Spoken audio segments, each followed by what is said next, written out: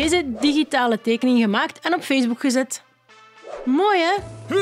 Ik vind het zelf ook een meesterwerk.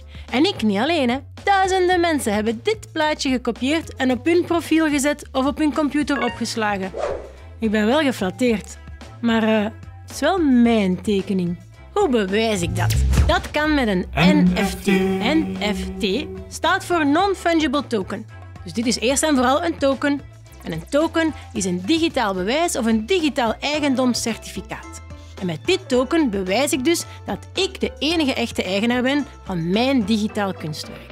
En het is een non-fungible certificaat. Dat betekent niet vervangbaar. Er is maar één origineel van. En dat is belangrijk, want iets digitaal kan je eindeloos kopiëren. En zo ook mijn prachtige werk.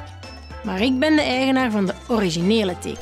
Tenzij ik mijn NFT natuurlijk verkoop. Dus ook al hebben miljoenen mensen over de hele wereld hier een kopie van, toch kan ik met mijn NFT bewijzen dat ik de enige echte eigenaar ervan ben. Of jij natuurlijk.